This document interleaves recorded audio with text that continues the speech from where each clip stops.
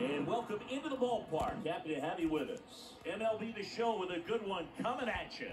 It's the Erie Seawolves taking on the Minnesota Twins.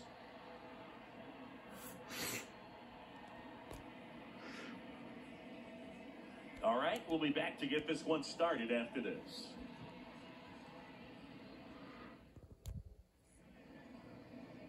Just about set to go now. Now the starting pitcher in this one, Joe Ryan. What do you look for here?